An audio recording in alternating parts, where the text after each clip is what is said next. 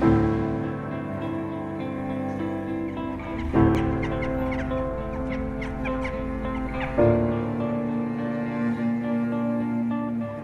Palcoscenici internazionali per un pezzo di storia che fa del Molise un ponte per la scoperta del Rinascimento adriatico. L'Expo di Milano nel 2015 e Matera, capitale della cultura, nel 2019 hanno acceso i riflettori su Michele Greco da Vallona, un artista controverso. La figura di questo pittore, infatti, proveniente dall'antica città portuale di Valona nell'Albania meridionale, non ha incontrato una particolare fortuna ed è rimasta nell'oblio a lungo, forse proprio perché le sue opere italiane sono presenti a Vasto, in Abruzzo e a Guglionesi, in Molise, in luoghi poco conosciuti in passato da critici e ricercatori. È stato un artista abbastanza eclettico, ha dipinto delle Madonne trassanti e in modo particolare eh, si è concentrato proprio sulla raffigurazione delle opere mariane di stile bizantino, quindi delle famose icone.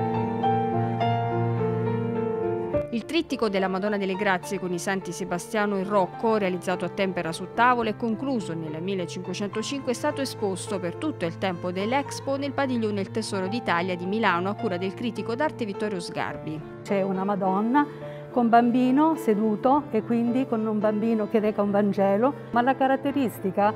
di questa, di questa Madonna, di questo trittico, è che ehm, praticamente richiama un po' eh, una leggenda balcanica. Evidentemente Michele Greco si è portato dietro questo mito dei Balcani, di questa famosa leggenda di Rosafat, una donna, che si, una fanciulla che si è fatta morire viva,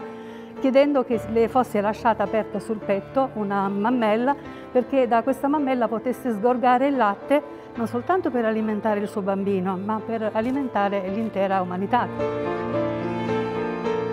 Un altro capolavoro di Michele Greco da Valona finito sotto i riflettori del mondo è il trittico della Madonna tra Giovanni Battista e Sant'Adamo, arrivato a Matera nell'anno della capitale della cultura con altre 180 opere provenienti da tutto il mondo e simbolo di eclettismo e contaminazioni artistiche. In questa raffigurazione Gesù bambino in piedi tra le braccia della Vergine con il dito alzato verso l'alto indica la retta via. Da questi particolari si cerca di capire da quale scuola provenisse il pittore. Qualcuno diceva che veniva dalla scuola dalmata, che fosse un Madonnaro che attraversava l'Adriatico, ma all'epoca insomma c'era a Venezia sicuramente la scuola degli albanesi, come la scuola anche degli schiavoni, dove si riunivano gli artisti di, di vario genere, provenienti anche, da, anche dall'Albania, e che presso questa scuola praticamente coniugavano lo stile eh, bizantino eh, con lo stile rinascimentale, quindi del Rinascimento italiano.